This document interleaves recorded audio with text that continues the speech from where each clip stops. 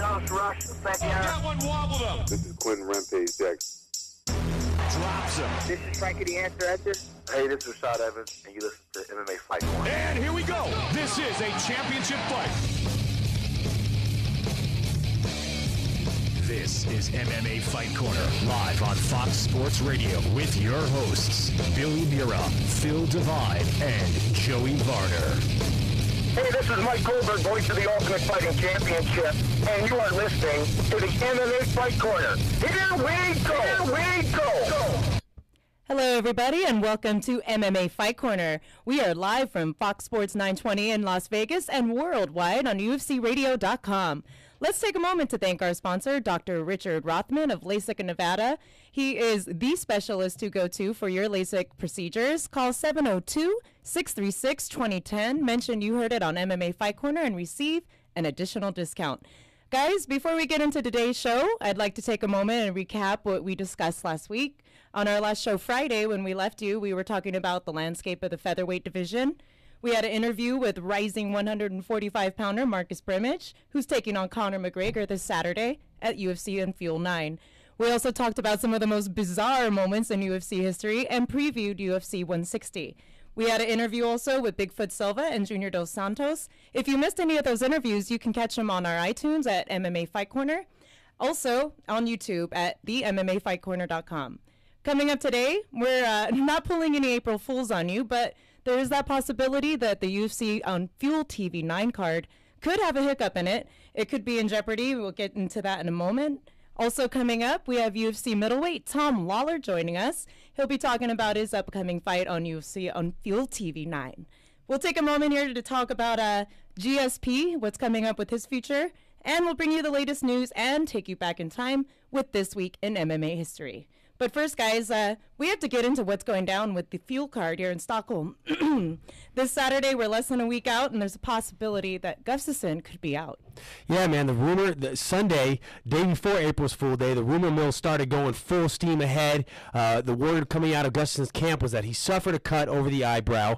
He had to go to the doctor, and that the Swedish Athletic Commission wasn't going to let him fight. Um, a lot of people started speculating, of course, because it was the day before April Fool's Day, whether or not maybe in Sweden it was actually April 1st. So this was an April Fool's Day joke, but it's not a joke. Um, and you know, a lot of people are rallying, you know, uh, to to have this fight on the card. You know, panicking of whether or not it's going to get pulled or not. Uh, Dana White since then has come out and said, no, uh, uh, Gustafsson's okay. The fight still will go down, but um, there's it's it's it's, uh, it's on shaky legs. definitely on shaky legs. And I, I'll tell you, when I saw that yesterday, I was scared, very scared. Um, hopefully, though, the cut doesn't affect the fight. It does take place. It's a fight we've wanted to see. I think it really pulls that card together as a main event. I just I hope it comes down. Yeah, you know that's one of the scary things. Is, the term that was floating around the forums was top heavy. This card is very top heavy, meaning that the the main event is is really what the selling point of this card is, and especially taking place in Sweden. This is this is the hometown. This is home turf for Alexander Gustafsson. Uh, this guy is a rising star in the division, but especially in Sweden. And for Swedish MMA, they've really been building this card around him. There's posters of him all over town. The whole event sold out in an hour. To lose him on this card at this late stage in the game could really be detrimental. Um, first of all, it's not one of the situations where you can just bump the co-main event to the main event because as much as Ryan Couture and Ross Pearson is an amazing fight that we're all excited to see and we, we think it's going to be a great scrap, it's just not solid enough name power to be a main event fight. And there's really no one on the card name-wise that can can can anchor this or, or, or could be a main event fight. Um, and then at such late stage in the game, who do you bring over if Gustafsson is out eh, to, to, to if you can't find a replacement fight to bump to the main event? There's no one strong enough. You have to find a fighter to fill in against Mousasi. Who do you do this? Who, who do you have stand at such late stage in the game? Yeah, what's really funny is when uh, the the Twitter, uh, let's say, universe the uh, last night was absolutely going insane. Like you said, people lobbying for the fight. We have Tom Lawlor on. The first thing he said, it you know, he want he a middleweight is lobbying for the fight. I even heard last night, you know, rumors is like Hector Lombard. I mean, they, they it was a, yeah, and it's one of those things. You click the link, it says April Fools, but that, that's the worst thing. Is like the day before April Fools. Right. Some something like this comes out. Are we getting But- trolled? Ex- but Yeah. the, the one thing we really need to start actually questioning is why are we questioning news that we hear on the internet on April Fools only. The, the internet, in all honesty, you really can't trust what you read. So I don't know why today is any different than it should be. the Wait rest a of the minute, year. Phil. I thought if you it read it on the internet, it meant it has, Has to be true. That's what I heard, but apparently it's not. You know what name that I saw floating around there a couple different times, and a person that I could really see doing this, stepping up, just be, uh, because of his nature. He's a step up kind of guy. He's a company man. I could really see see doing this, stepping up, trying to take this fight, and still making his fight would be Chael Sonnen. Yeah, Wow. but Ch- Chael's a little busy at the end of the month, but uh, I would love to see it. I mean, he he, he is, he is, and I, I don't think that would happen. They're not going to pull him off the main event. But another one floating around there, and I know he's just getting into camp for a fight right now that I thought would be interesting, especially considering who Gustafsson's last loss was to was Phil Davis. Yeah. I had heard that floating around that they were going to do that, and Vinny's like, "No, he's mine." Vinny Magalhaes, he was Yeah. like, "No way, don't pull him." Yeah, I can't wait for that that fight too, Phil and uh, and Vinny. That Wrestling was meets jiu-jitsu. yeah, and and that was a, a big thi- you know discussion that came out last week. Also, I mean, we didn't really get to touch on it on the show, but Phil Davis did an interview where he talked about how wrestling is the absolute most superior background in mixed martial arts, and Vinny wants to be the guy to prove him wrong. We shall see. Yeah, looking forward to it. That's definitely going to be a tough fight. Um, there were a lot of rumors with this as regards to Alexander Gustafsson. Will he be in? Will he be out? One of the things that interested me most about it was the fact that they had some doctors check it out from the Swedish uh, Mixed Martial Arts Federation and that they saw him in photos. And two of the doctors said by the photos that they didn't think he'd be cleared, that there was a slim percentage, that it could be three to four weeks before the type of laceration that he has over his eyes heals. What do you guys think about the process that was being used? Will they actually examine him in person? Nah, it's mean- right. It's on. Yeah, you're gonna have to. That's the thing is is the, the the commission and the doctors at hand. They can't make any actual judgment or assessment based on just a photo. They're gonna have to go and take a look at him and actually do a physical inspection of the cut. And within you know 24, 36 to 48 hours, a lot of time that gives the cut a lot of time to, to heal. Um, especially if you if you attend to it right away. You put some of the, the the what is it the adrenaline stuff they put on the cut. You put some of that new skin stuff, the super glue. You know within 48 hours, uh, a cut can look night and day from from when it first got opened up. So um, there will have to be an inspection. And I'll tell you what, Dana White do- doesn't usually go back on his word. When he usually says something, it usually comes to fruition. So when he reaches out, tells Ariel Helwani, "Hey, this fight is going down," I think that it's a good sign. This fight is still going down. Yeah. But I'll tell you what, though, if your name is Gegard Mousasi. You got you got an infrared scope on that cut, man. You're gonna go to town on that cut. Everything you do, every punch you throw, every knee, every elbow is gonna be aimed directly at that cut, trying to open that bad boy back up. And you got to wonder what kind of mental state he's in right now because yesterday even he tweeted to Dana White, "Hey, I just got in and I'm hearing that Gustafsson's out. Like, please let me know what's going on." So, I mean, hey, listen, if Dana says it's on, I got to think that it's on. Yeah, it's funny though is that, is that he has to tweet to find out. Yeah. You know, you figure he'd just shoot a text, "Hey boss, uh, we still good?" But he got a tweet. It was like Daniel Cormier the time that he found out that his uh, fight was canceled with it was it the November Strike card, Force, yeah. Yeah. and he actually found out from the internet, I and that's just crazy the way that that can influence. But but that just goes to show you that what you hear on the internet is true. Well, guys, we will definitely get into all of that and more, but we do have some news here to discuss with you also. Um, one of the topics we were talking about was GSP and the, Walter. A little bit more about that. And uh, UFC 154 Tom Lawlor, we met Sumo Suave. He paid homage to Apollo Creed. And uh, guys, what do you think we can expect from him this time in Sweden? Uh, I don't know. To what what can't you? All I know is that he was a little upset this weekend because uh, last week uh, some fighter made an entrance in another event and he felt he was outdone. Uh-oh. Tom Lawlor felt he was outdone last week. I'd like to see what he has planned for his entrance this weekend. Unfortunately, though, we never get to see it. We never get to see it. No, but that's always like uh, you know, it's it's what goes into the mind of a madman. You know, Absolutely. I, I that's one of the things I want to talk to him about. I want to talk to him about his his uh, uh, his his creative process and and how he how he comes up with these ideas. How you know how he really thinks about this, and w- and when he does actually feel like he's outdone, you know. What's he gonna do? Step it up then. Now, now, if you're outdone, you better step it up. So I want to know. I know he's not gonna tell us, but I, I just kind of want to. I want to get a glimpse into the methods behind his madness. Yeah, I'm looking forward. Last time we had Tom Lawlor on the show, one of the he said one of the greatest things I've ever heard anyone say on our show. And he said the fact that he works for the UFC is pretty much just an excuse for him to legally street fight. Yeah, yeah, it was funny. You, you know, and one of the things that he said is, you know, and I we talked about his entrances and, and how he, you know, the mindset he's in when coming out, and he's like, I don't think about the fight at all. I'm never nervous about a fight. I never think about what's going on in a fight because pretty much I know as I'm walking out that within the first round, the fight is probably going to end with either me getting knocked out or me knocking the guy out. You gotta love that. You gotta love that. And speaking of the end of fights, you know who actually said that that there was rumors that that that if a certain fight happens, this could be the end of their fighting career.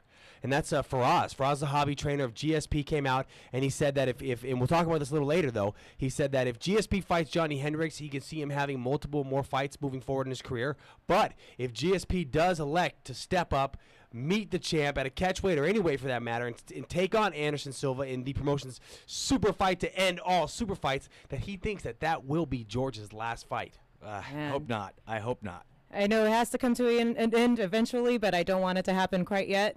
We'll get back to all of that and more. Right now, you are listening to MMA Fight Corner live on Fox Sports 920 from the studios in Las Vegas and worldwide on UFCRadio.com. We're going to take a short break and we'll be back with more MMA Fight Corner. MMA Fight Corner. Sorry about that. I thought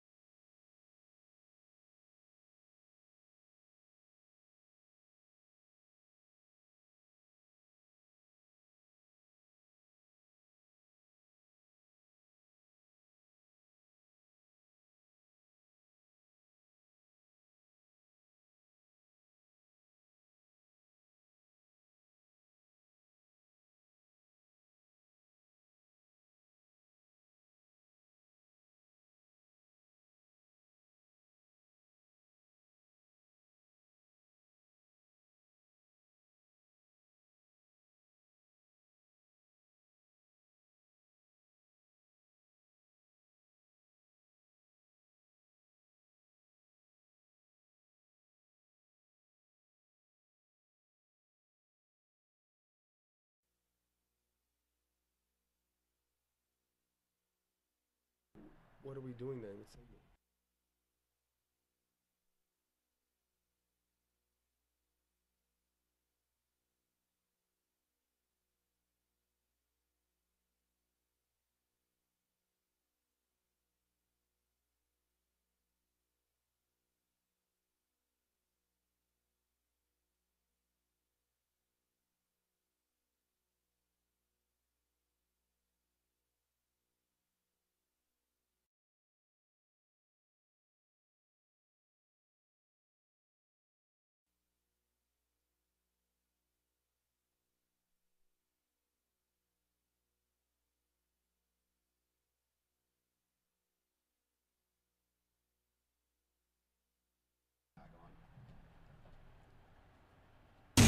MMA Fight Corner. All right, everybody, welcome back to the MMA Fight Corner. I am Heidi Fang, and I am joined by Phil Devine and Joey Varner. We are coming to you live from the Fox Sports studio in Las Vegas and worldwide on UFCRadio.com.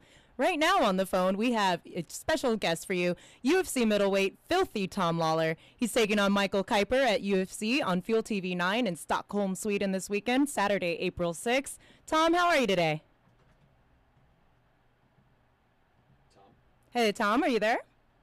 Yes. Oh, there you are. How are you doing? I'm doing good. How are you? Excellent. So, welcome to the show, Tom. You've got to be uh, getting ready to head out to Sweden soon, right? I understand right now you're in the East Coast still? Yeah, yeah. I'm literally like about to be on my way to the airport. Oh, okay. So, uh, you know, yesterday we saw something from you on Twitter that you were interested in taking on Gegard Mousasi should Alexander Gustafsson be out of the fight. Uh, had, did you get any response from that from anybody with the UFC brass, or did you make any phone calls? No, I didn't get any response. Oh. I got nothing. Uh, you know, they ha- I mean, they haven't made any announcement, uh, regardless of, um, regardless of the main event. So, I mean, I- I'm not expecting, uh, not expecting to be thrown in there. But I, I mean, basically, I'll fight anyone. I mean, my pay uh, stays the same regardless of who I fight. So I figure, hell, if they need somebody, I'll, I'll step up. But I really didn't expect it to happen. So. Right. Well, that, that's what I love about you, Tom. You got that old school warrior mentality. I remember the last time you were on our show, you said the fact that you fight for the UFC is basically just a legal reason for you to street fight. Um, you know, like, did you, when you look at this fight, moving, if you had to, let's just say, forget about the Coop, the Kuiper fight for a second. If you Yeah. were able to sit in there and take on Gegard Mousasi, you know, going into a foreign country and moving up a weight, like, it doesn't matter. You just want to fight. Yeah, you know, uh, I, to be honest, I kind of miss uh, the days of freak show fights. you know, I'm not saying that you know me versus Mousasi uh, would be a freak show fight, but I mean it, it's at least a step in that direction uh, compared to fighting guys in my own weight class. So, uh, you know, I think uh, sometimes the entertainment aspect gets lost a little bit in the sport. And uh, you know, if you take a look at the fight a couple weeks ago between uh, Rumble Johnson and Arlovski, uh, that fight, you know, got probably more press than it would have if it was uh, each guy's fighting individually uh, in their own weight classes, just based on the fact that there's like an unknown factor of well, this guy's moving up in weight and he's fighting, you know, a guy that's normally heavyweight. So I think stuff like that's really cool. And uh, yeah, I've been watching MMA so long that I kind of missed that. Yeah, d- definitely. And I, in fact, actually, I think uh, you know when you look back at those days uh, of the UFC with the the open weight classes, the, no time limits, things like that. I mean, yeah, you can say freak show, but that was it was a real fight. Those were nasty days. Yeah, yeah, and it, I mean, it was really that really was kind of like a street fight because those guys had no clue uh, what they were getting into for the most part. Um, so yeah, I mean that that stuff was always fun to see. Obviously, the sport's a lot better off now than it was then. Uh, but you know, every once in a while, a good freak show fight is uh, pretty damn entertaining. Yeah, speaking of not knowing what you're getting into, you know, what about tape? Are you, are you one of those guys that watches tape on your opponent? Uh, I've I've gone through both uh, both strategies in the past. Um, I've watched a bunch of tape on guys and tried to pinpoint exactly what they're going to do, and then I've also not watched tape at all. And uh, right now, I kind of fall somewhere in the middle. Uh, I watched the fights, Michael Kuiper's fights, uh, I think once, and um, came up with a game plan from there. I, I think a lot of it, guys get too bogged down, and well, he could do this, he could do that, instead of just focusing on being 100% um, based on their skills and going out there and doing what they can do. So uh, that's kind of the approach I'm taking for this fight. Yes. Uh, now back to your approach and, and on to your training. Where what's training been like these last couple of weeks? Where are you training for this fight? I've seen on Twitter you've been kind of moving around. Um, I'm training at a few different places, but uh, in my hometown, uh, Providence, Rhode Island, and I train at a jiu-jitsu place uh, pretty regularly, about five times a week. Uh, and that's with Tim Burrill. Um, he's got a great group of guys uh, doing jiu-jitsu at his spot, and he's a uh, he's I I don't know what degree he is because he doesn't really care, uh, but he's under Carlos Machado, um, and then also up at sorry, there seems to be some uh, commotion going on outside here. Um, uh, also, uh, Joe Lauzon's gym, uh, Lozon MMA, and then uh, Triforce MMA as well. Very interesting. Now, um, go ahead, Joey. No, yeah, I'm just interested in, in, in the style matchup between you and Michael Kuiper because you know you come originally from a wrestling background and, and you've really evolved your striking game. He comes from a judo background and he's really evolved his striking game. He's got a Dutch style of kickboxing, you know, with judo backing. You've got you know your well-rounded striking with wrestling background. How do you see this fight playing out? I mean, I know you love the standing bang, but you always have that wrestling in your back pocket. Is this one of those times that you're just going to kind of feel the fight out, go out there and see where it goes, or, or do you see that you have a distinct advantage on the ground, you know, with the uh, uh, with your wrestling game over his judo? Um, I don't think I have a distinct advantage on the ground. I think there's some like transitional. No, no, no, no, positions Tom, that, Tom, uh, Tom. I, I gave you. The, I said you have the advantage, not him. Re- No, no, I agree. That's, Oh, okay, I, cool. I, that's what I said. I said, and I said bad. I don't think that's necessarily the case. Uh, as far as like, I, don't expect to take him down and hold him down for an entire round. Uh, he's very good at standing back up uh, once he gets taken down. So I think it's going to be somewhere, you know, in like a transitional period where the fight's going to be won and lost. Um, I don't think his striking is better than mine, and uh, I'm not so sure that you know my my wrestling uh, my wrestling style lends itself to holding guys down for a long time. So uh, you know I don't I don't think uh, it's going to be like a classic striker versus uh, wrestler matchup or anything like that. Do you think the crowd is going to play any role in this fight? I mean, he's not from Sweden, but he, he is from the Netherlands, which is five minutes away. Europe's only 10 miles long. So, uh, you know, he probably will have a lot of family and friends there and, and will be the considered the hometown fighter. Um, so do you think the crowd will, will play into factor? And how, how, how well do you think you'll deal, do dealing with a, with a hostile crowd? Yeah, I don't think he's going to be the hometown fighter. To be honest, uh, I fought, you know, my- last fight against Francis Carmont. He lives in Montreal, and if you listened uh, to the audio from that broadcast, the crowd was pretty vocal um, after the decision was read. And uh, you know, pretty much everywhere I go, I seem to have a pretty good fan base, uh, just based on you know my personality and the lack thereof that most guys seem to have uh, during fight week. Yes, de- definitely your personality sticks out. Yeah, I tell you what, too. You, I think you have a cult following because of your entrances. Your entrances. I mean, your fighting is definitely exciting, but but your entrances, is like, Don't lie. no, You need to lie to me. I love to see you fight, but I think I'm just as equally excited to see what your entrance is going to be and how you're going to show up at the weigh-ins. Yeah, uh, me too, pretty much. You know, I get excited for both of them. So, um, you know, I, I I guess it would be better if I was like GSP and just dominated everybody or like Anderson Silva, but realistically, that's not what's happening in my fight. So I have to find my own niche along the way. Well, speaking of, of your entrances, what goes through your what's the thought process when putting together what you're going to do for your entrance?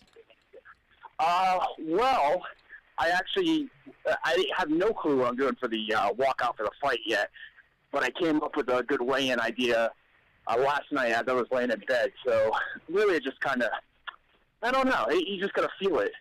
Like there's no uh, process that really works well. I found.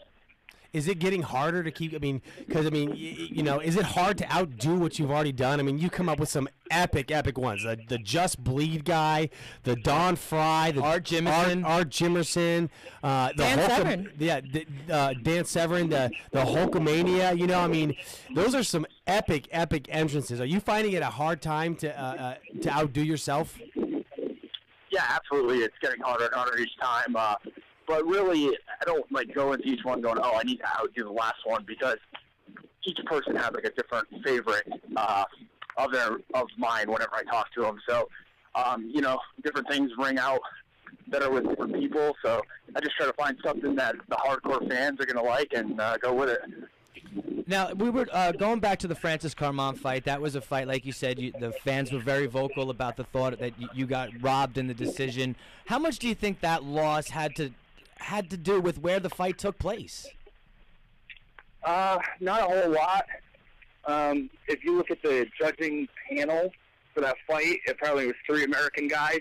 Now, maybe they might have been swayed by, um, you know, the crowd a little bit, I guess, thinking that it was in the hometown of the guy. But uh, I don't know. I think it might have it, or more of it might have to do with the judging criteria uh, per se, and the understanding of judges of the criteria. Because, in my uh, unbiased opinion, um, you know, I thought I won the fight, and like basically he was on the defensive for most of the time. And in the um, you know the unified rules state that now defense is not a scoring criteria, and then it's uh, reward in itself. You know, so the fact that he basically just played defense the whole time, didn't mount a whole lot of offense, uh, and came out with a W, I I think uh, speaks more to the, the understanding of the rules rather than the fact that it was in Montreal. He, it's almost he, he didn't fight to win. He fought to not lose, and he won doing that. And we see that a lot lately. We definitely do. All right, Tom. Tom Yeah, and, oh, go ahead. I'm sorry. No, no, I'm sorry. All right, well, listen, really quickly, we know you got to get ready to the airport and we got to get going too. I got to throw out five really quick questions to you, and I want you to answer as quickly as possible. First thing that comes off the top of your head, all right? Okay. All right, where do you take a girl on a first date? Uh, Burger King. what was the last movie you saw?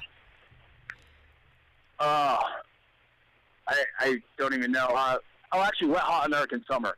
Oh, an old one. Okay. Star Wars Yeah, or I Star Trek? like yeah, two days ago. nice. Star? Star Wars or Star Trek?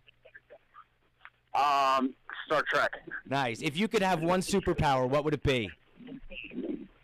Um, invisibility. Nice. All right. And last one on a hot dog, mustard or ketchup? Ooh, relish. Nice. All right. Yeah, invisibility, you pervert. Well, Yeah, that's exactly what I was thinking. I uh, knew it too. I knew it. You were like, all the girls' locker rooms, I will be in. well, Tom, before we let you go, thank you so much for coming on the show with us. Do you have any sponsors that you'd like to take a minute to thank or tell fans where they can find you?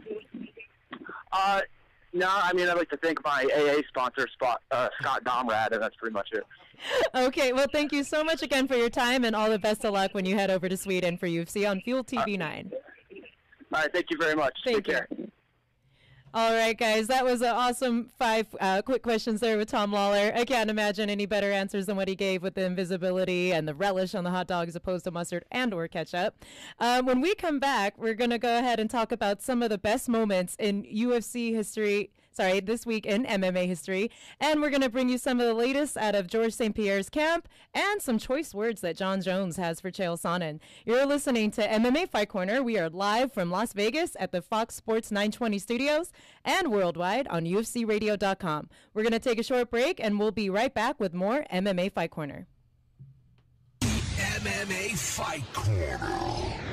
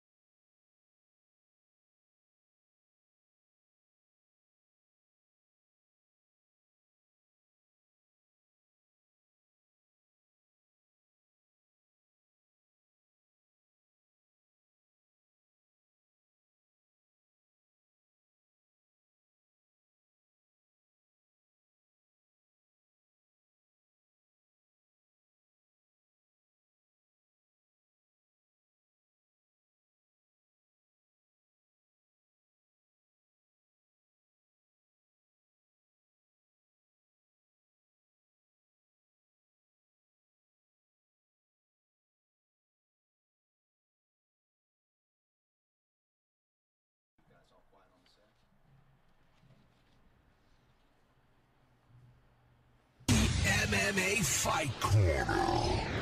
Welcome back to the MMA Fight Corner. I'm Heidi Fang, and I'm joined here by Phil Devine and Joey Varner. We are live from the Fox Sports 920 studios in Las Vegas and worldwide on UFCRadio.com.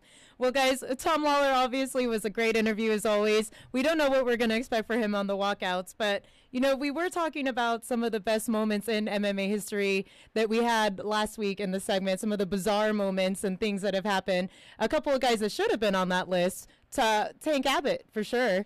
Back in the day with his cheese graters, what was that, UFC 6, when he's uh, taking um, Paul Varelans' face and he's like smashing it in and then punching him and putting it back in the cage. Yeah, Tank Abbott was definitely someone we that should have been on the list. I know, uh, you know, and there were there's quite a few that should be on the list, and there's some that shouldn't have been on the list. T- Tank has multiple moments, bizarre moments in mixed martial arts history. Not just the Paul Paul, Paul Varelans' uh, uh, face face rake Yeah, cheese grater yeah. on the on the fence, but remember uh, the John Matua, the infamous John Matua. He knocks him out, and John Matua is convulsing on the ground, and he does the old stiff arm back, and then uh, the the Carl Worsham where he hit him in the chin, and it looked like he broke the guy's neck. To Yeah, uh, he who- looked dead for sure. Dude, that was one of the nastiest things I've ever seen. And then.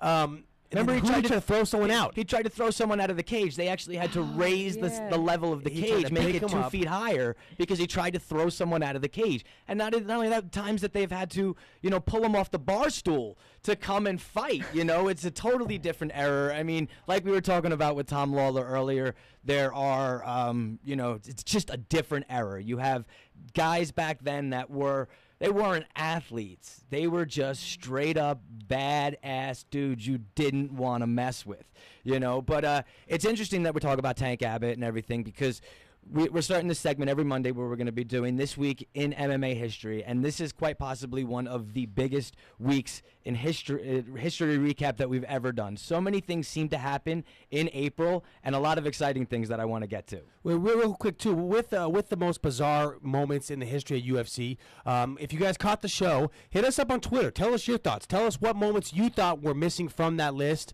Um, what you think the most bizarre moments in history are uh, in the history of UFC, and, and with anything as Phil's about to do uh, this week in history, hit us up on Twitter with this as well. Anything that you find or, or what your thoughts are in regards to uh, the the things he talks about. And to do that, we are at Fight Corner on Twitter, and then Joey Varner is at Joey V MMA. Word. Phil Divine is at Filthy. That's P H I L T H Y Divine at uh, on Twitter, and I'm Heidi Fang at Heidi Fang. Yeah, and uh, dude, hit us up. We will definitely get back to everybody. But so this week in UFC history, I'm going to go by day, okay? And today is April 1st. So April 1st, 2009, UFC Fight Night 18 took place in Nashville, Tennessee. That night, Martin Kampmann welcomed Carlos Condit to the UFC and handed the natural born killer his first loss in three years, taking a split decision win. Ryan Bader also defeated Carmelo uh, Marrero in his first fight since winning TUF 8, and it was the last time that we saw the infamous Junie Browning inside the octagon after he took a beating by Cole Miller. You know what's funny about Junie Browning is now every year on TUF, the Ultimate Fighter, it- people refer, oh, he's this season's Junie. Yeah. Before Junie, it was Chris Leben. They'd say, oh, he's this season's Chris Leben. And then, so there's like, there's uh, B, BJ before Junie and AJ after Junie. Absolutely. So now it's like, oh, this guy, he's this season's Junie. And thankfully, this season, the Ultimate Fighter is so op- awesome, it's Junie free. Yeah, no Yeah, I Junies, can't and, believe it. and a, and a special thank you and a shout out to Cole Miller for uh, for gracing us with that and uh, taking him away from us because that was a that, that that guy did bring a bad name to the sport. You know what's crazy though is is and if you follow Junie at all, you'll see that you know his life has been in turmoil. He had this whole thing in Thailand going on where he was assaulted, he was beat up, he was on the run from the cops, he almost got killed, almost died. I don't know what was going on, but it was just this bizarre story of just chaos that you can only think that only in Junie Browning's life could this stuff be going on. But the thing that's the worst part about it is one on one by himself, he's cool, man. Like he came to Coutures, he went in there to train, and everyone beforehand was kind of like, "Oh my god, here comes Junie Browning." But then he comes in and he's nice and he's friendly and, he, and he's a good part of the team and he trains hard and he's very polite to everyone. And it's like the person that you saw on the show, the person that you hear these stories about, and the person that you actually interact with and met. Aren't, aren't the same thing, so it's it's just what happens, you know. And I, I honestly think a lot of times it has to do with the old uh,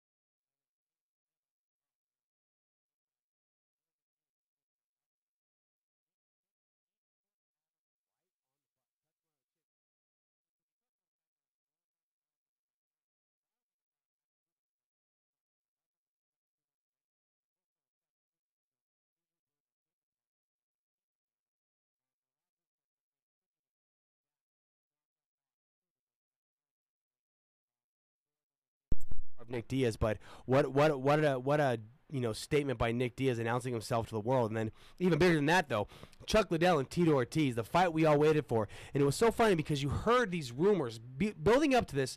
Tito Ortiz, you know, he, he he was supposed to fight Chuck. They were friends, then they weren't friends. Chuck was the number one contender, and like three times in a row, Tito got hurt. Something happened. Tito hurt his back. He couldn't fight Chuck. He couldn't fight Chuck, and these rumors started circulating that.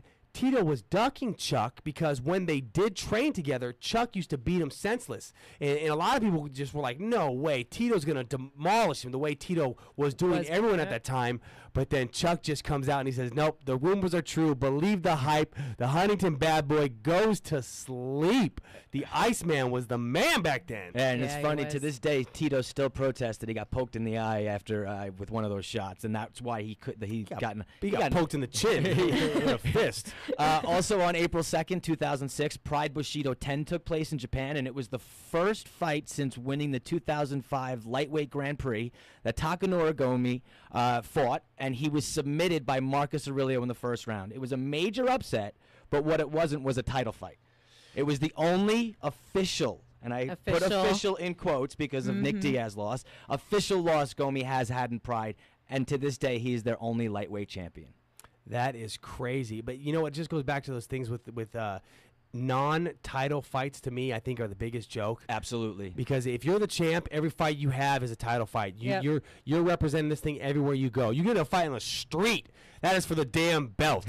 but you know what's even funny though is, is, is did you see the rematch? Yeah. bro. He mauled Marcus Aurelio in the rematch. They had to pry him off and It was like they had to. They were trying to contain a rabid dog. This guy was going nuts on Aurelio. And I think it was two two fights later, and that one was for the title, and that's technically the only time Gomi ever defended that title because no other fights were for the title.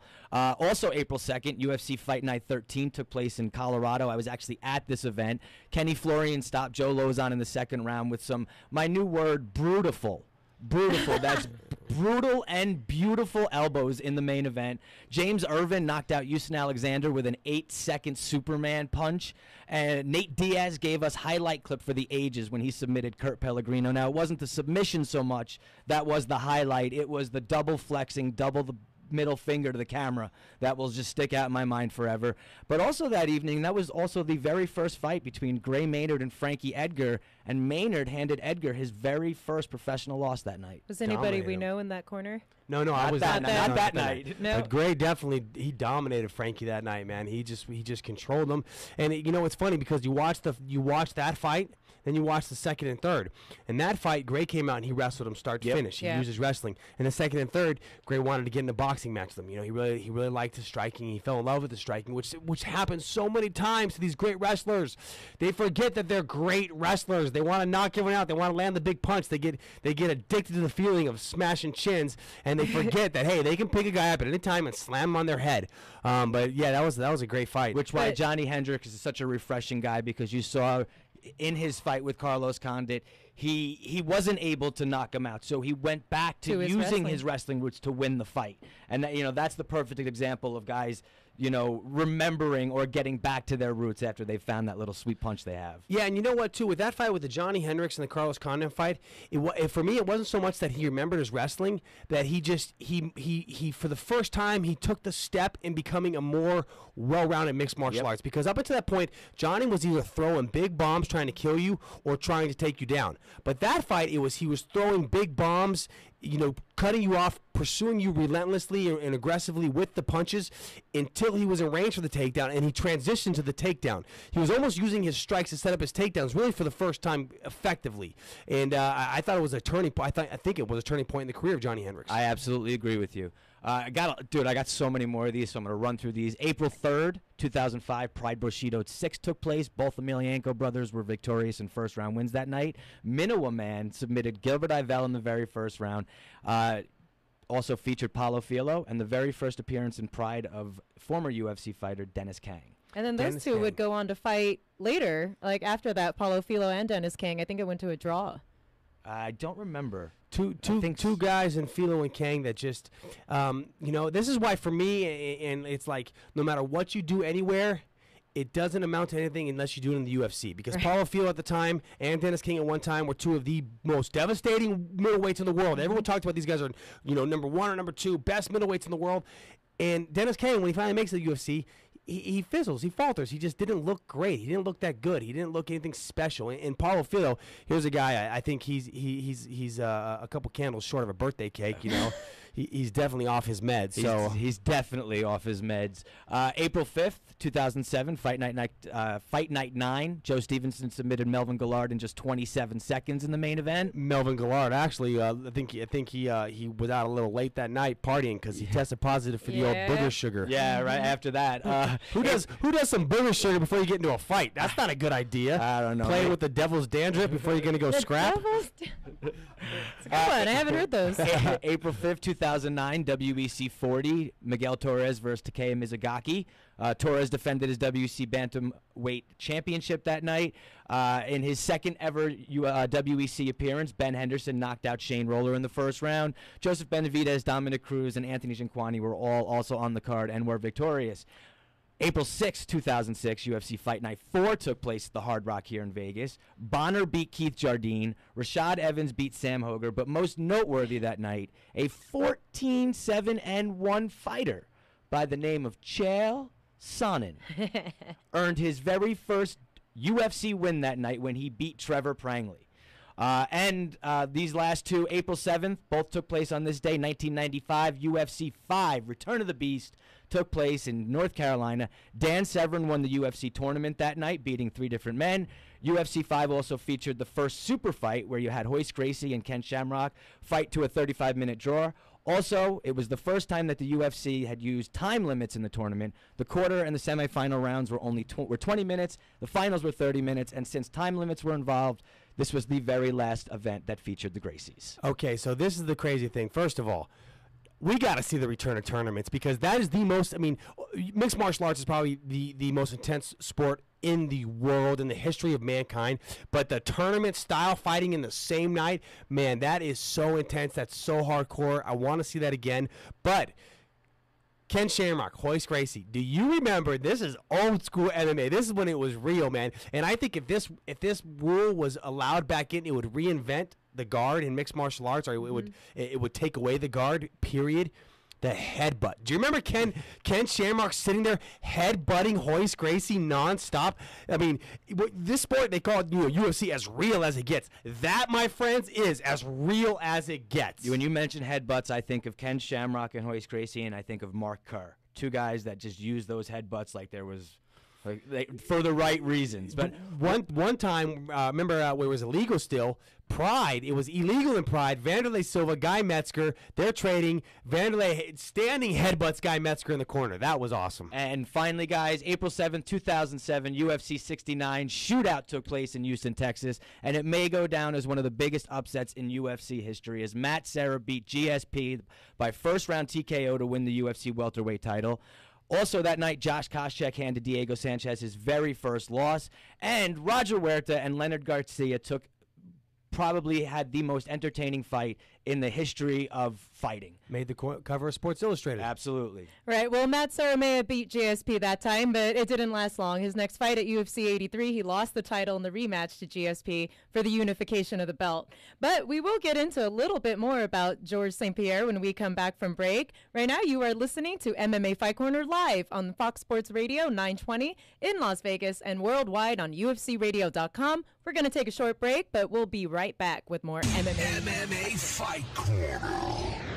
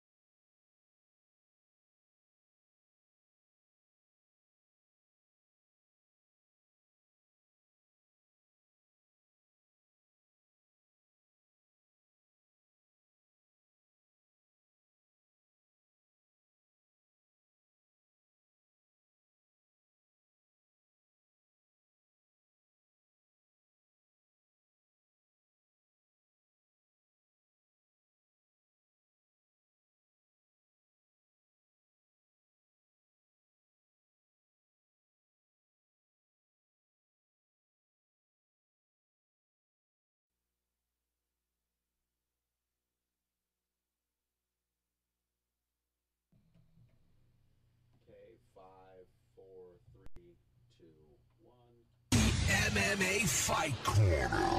Welcome back to the MMA Fight Corner. I'm Heidi Fang, and we're joined here today with Joey Varner and Phil Devine in the Fox Sports Studios, 920 in Las Vegas and worldwide on UFCRadio.com. We were just talking about George St. Pierre and Matt Serra before the break, and there is some interesting news going on with George St. Pierre right now in the news. It could be the end of a long, lengthy, dominant reign in the UFC welterweight division. Joey, what did you uh, hear about George St. Pierre from Firas Zahabi? So yeah, what we touched on earlier is Firas came out and he talked about the future of George St. Pierre, and there's a lot of options on the table for George uh, everywhere, both inside and outside the cage, as he's he's making his Hollywood debut or, or re-debut uh, coming up in the the uh, what's the movie he's in? Captain Uh, the America Captain 2, America. I am Winter not, Soldier. I am not impressed by your options. Yeah, yeah. But uh, so Firas is saying that you know should George decide to stay at welterweight, fight Johnny Hendricks, that he he has a few more fights, you know, many more fights to come in the future. But is it if he does elect to step up?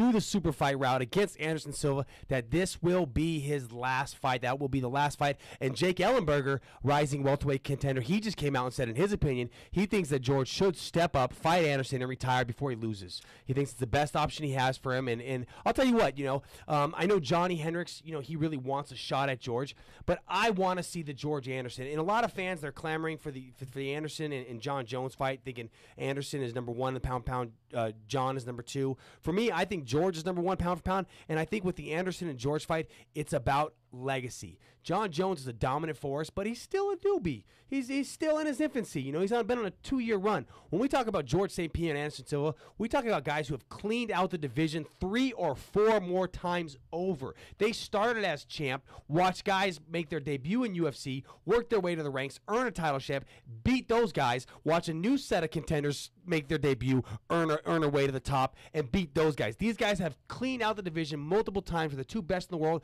More than that, call me crazy. Call me anything, just don't call me late for dinner. But I, I think stylistically, man, I think George can beat Anderson Silva. See, he, here's the thing, though, and, and this goes back to the uh, on Friday's show. We were talking about Chris Weidman, you know, possibly holding out on his contract till he gets the Anderson Silva fight because he, or till he beats Anderson Silva is the way he looks at it. But we got to remember something, guys. It's Anderson Silva, okay? And, and I, I agree with you when it comes to the legacy. When you look at Anderson Silva, George St. Pierre, that fight, we've been talking about it for years. It, it is one of those fights where both guys have cleaned out everybody in their division. They've fought the best of the best, and it's only natural for them to fight, okay? But you go back to the Jon Jones and you say Jon Jones is still kind of new in the sport and, and hasn't cleaned out the divisions and stuff. But if you look at what Jon Jones has done in the last year and a half, he had the greatest year in mixed martial arts history. When you look at what he did, winning the title, and that year he, I think he had four fights. Yep. He beat Bader, uh, Shogun, Machida, and who was, and then was a Rampage. Yeah. So he just like he, that was that's the greatest year in mixed martial arts. Those are all viable contenders. Okay, and when you look at Jo- uh, Anderson Silva, has he fought the best of the best? The 185 division was always kind of weak, and it was one of those things where it was like he was he was kind of set up to win. He didn't really have that stylistic nightmare to go against. George St. Pierre against uh, Anderson Silva, yes, stylistically, but I don't know if George can hold down Anderson. I think Anderson, if you look at it when it comes to weight, if George is going to take this fight to be his last, he's got to do it right. He He's got to put up. the weight on, bulk up, because of the fact if you look, Anderson Silva is a guy who fights light heavyweight also. He's cutting to make, uh, he cuts a lot of weight to make middleweight, and he doesn't cut a lot of weight to make light heavyweight. George needs to put on that weight, or come fight night, I think Anderson's a good 30 to 50 pounds heavier than him. No way. 30 to 40. No I way. You know why? so. You know why? I'll say no way right now because Anderson walks around at 215 to 220. Yes. George St. Pierre walks around at 195 to 200. There's a 15, 20 pound discrepancy right now. And if they were to meet at 175 or 178, that means that George is going to come in fight night around 200 and Anderson will probably come around at 205. There's Nah, not going to be that. There's only, you're saying a 30 pound weight discrepancy 20, right now. 20 to 30. No, no, 15 to 20. Right, there's a 15 to 20 pound right now. So fight night, if they if it's at 178, and Anderson himself said he could fight at 170, I don't think the size is going to be that big a difference. And here's the thing, though: George take down, takes down, and holds down bigger guys than Anderson Silva and better wrestlers. Rashad Evans. Rashad has gone on record saying George would take me down and control me and hold me down all the time. Rashad is bigger than bigger than Anderson, not longer, but weight wise bigger. He's also a better wrestler. So I, I think that, and, and when have we seen? I mean, I, I love Anderson. I think he is amazing. I, but I just think when have we seen him have this amazing ability to get back to his feet from the bottom game? Well, you know, you We saw, haven't. We never but- seen but him on you- bottom. But you've talked about it in the past. For the last, you know, couple of years, he's been training for what? For wrestlers. I'm with you on that. I'm with you. So you know, I, I and we saw round one against Chael. He got taken down immediately. Mm-hmm. And then what happened in round two? Chael went for the takedown and couldn't get him down. And he made he that fought spinning him back off, and fist then move and that then just- Chael brain yeah. farted. But you know, I, I think Anderson against GSP. I mean, I'm sorry. I, I I know you think GSP is pound for pound the best fighter in the world. I think Anderson Silva is pound for pound the best. That's why you, when it comes to pound for pound rankings, it's subjective.